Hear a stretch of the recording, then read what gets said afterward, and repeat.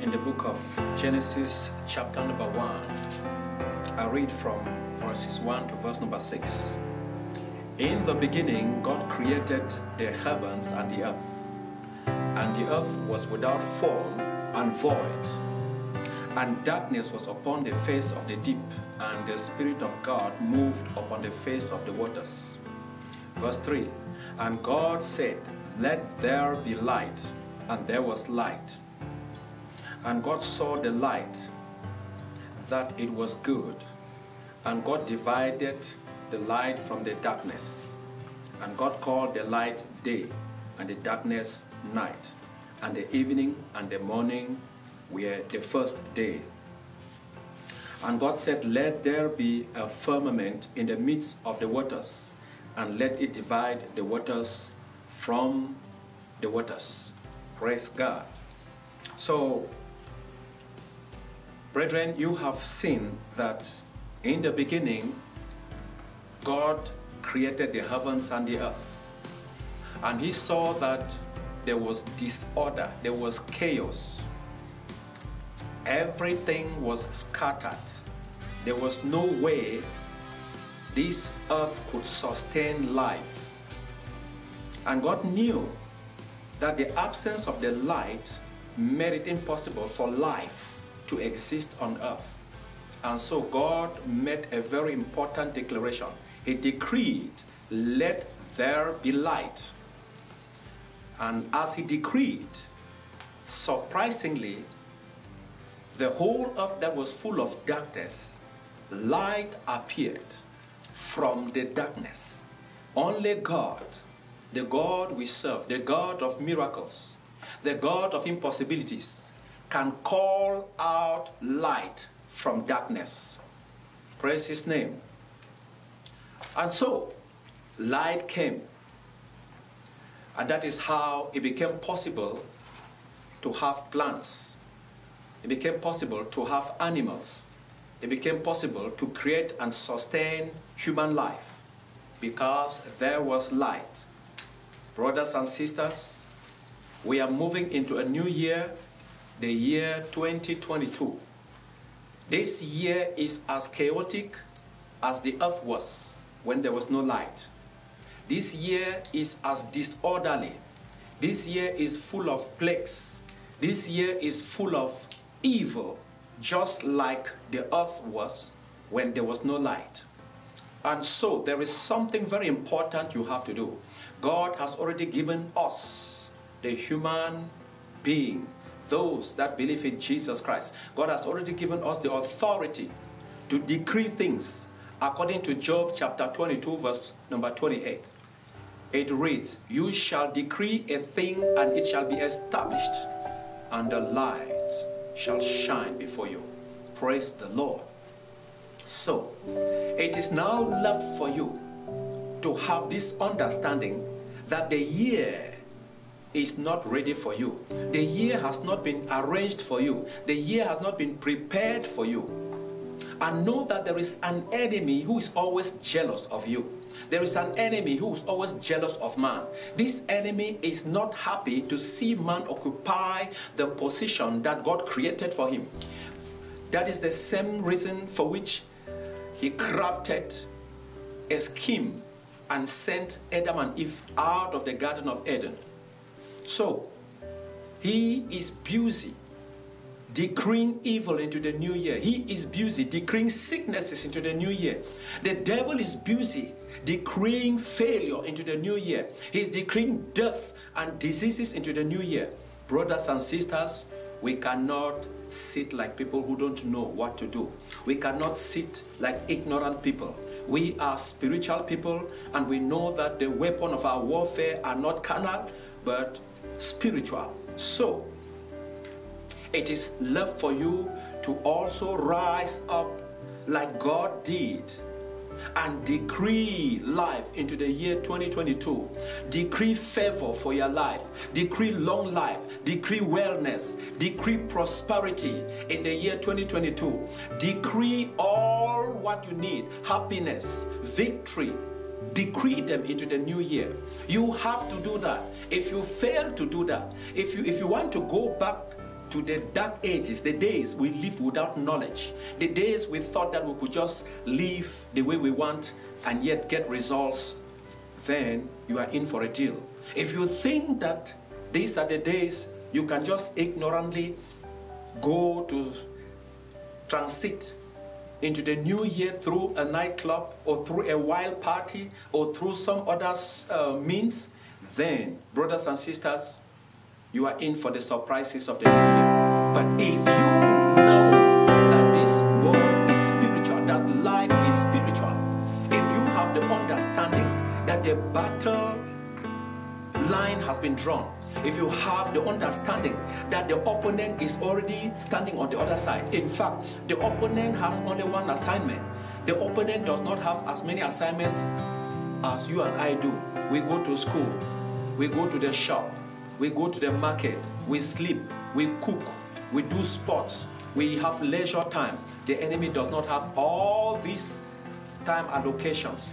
The enemy has only one time allocation and his time has been allocated to counter you, to pull you down, to make sure that all you set to do fails.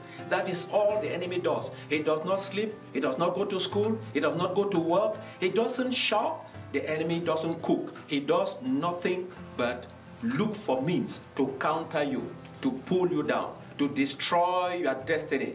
Remember, the Bible says in John chapter 10, verse number 10, that the enemy comes but to kill, to steal, and to destroy. Which means that what? Whatever he does, he ends up doing one of the three things. Either he is killing, he is stealing, or he's destroying. So, brothers and sisters, it is time for us to stand up like people of wisdom, like people who are knowledgeable in spiritual things, and decree goodness, decree mercy, decree wellness, decree all the good things we need in the new year because that year will carry the things that you don't want if you allow the enemy to decree the things that he usually decrees into new year. Remember, the new year is like a virgin land. It's like a virgin farm. You need to go there and sow something. If you fail to sow something in the land, someone else will sow tares there for you. The enemy will, plant tares in the land for you. And if you don't sow the good seed, then be ready to harvest the tares. But brothers and sisters, God forbid, we shall not harvest tares, for we shall sow good seeds on our farms. Praise God. So, brethren, I want us to pray.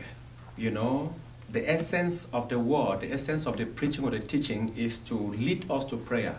So right now, I want us to pray this prayer. Say, in the name of Jesus and by the power of the Holy Spirit, I cancel any negative word spoken against me, against my life in the new year in the mighty name of Jesus Christ. I cancel the plan of the enemy for my family. I cancel the plan of the enemy for my life. I cancel the plan of the enemy for my destiny. I cancel the plan of the enemy for my family members in the year 2022 in the mighty name of Jesus Christ. I come against that word. I come against every negative word the enemy might have spoken against my life in the name of Jesus. I override that word with authority in the mighty name of Jesus Christ. I come against the word. I come against the word. I come against the word in the name of Jesus Christ. I say the word of the enemy will not prevail because I speak in the name of Jesus, the mighty man in battle the King of Kings and the Lord of Lords. Hallelujah. Glory to God. Now I want you to understand that there are people who have sat in places discussing you and planning to frustrate your year 2022.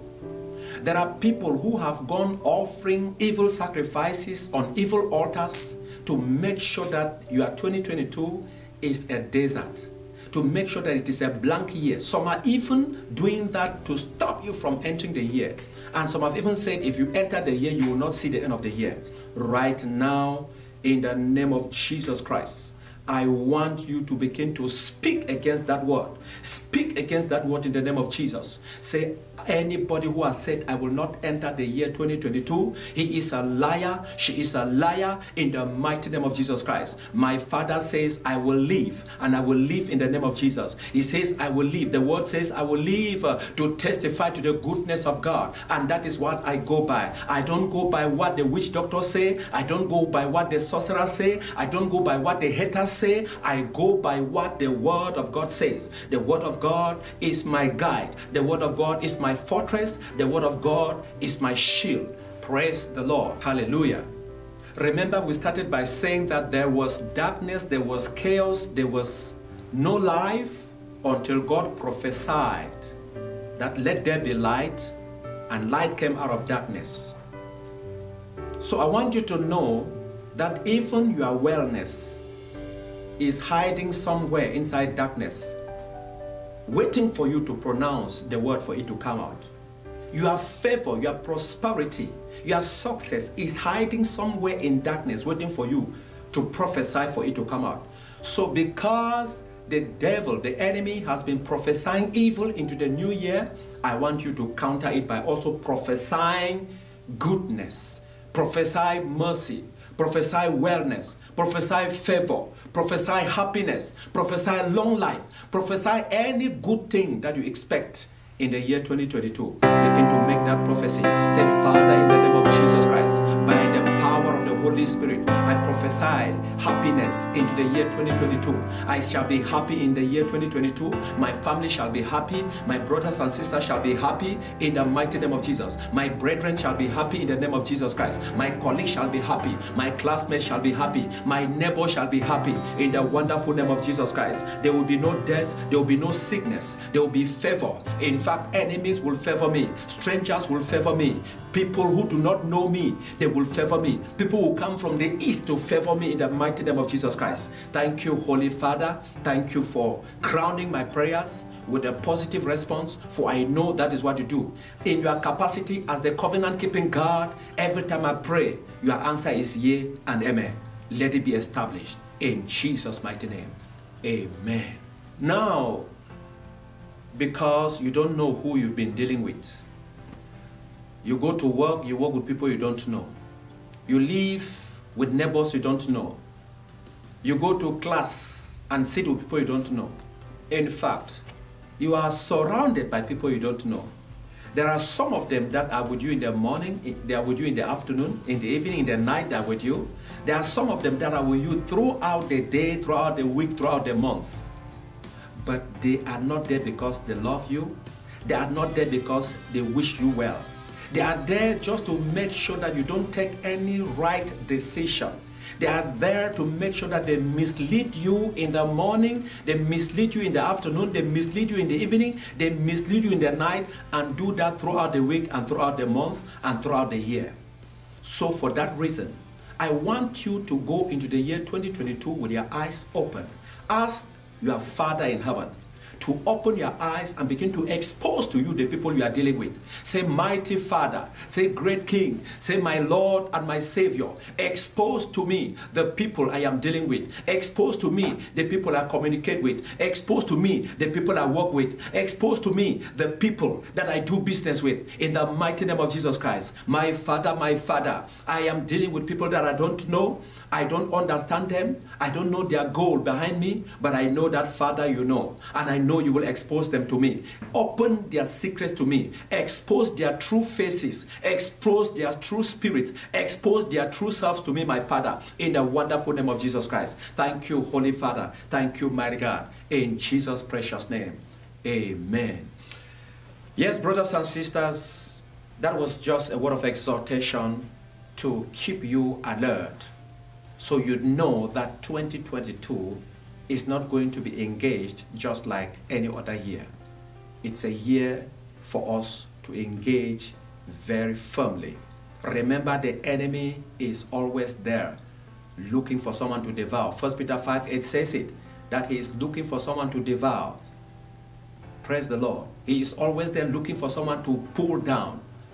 Yet you are working, you are schooling, you go to church, you go to the gym, You go to the shop, you cook, you do many other things, but the enemy has only one thing he is doing, and that thing is to frustrate your life, to pull you down, to destroy you. Praise God. So I just pray that we engage the year 2022 with open eyes, with revelation, and with an exceptional vision.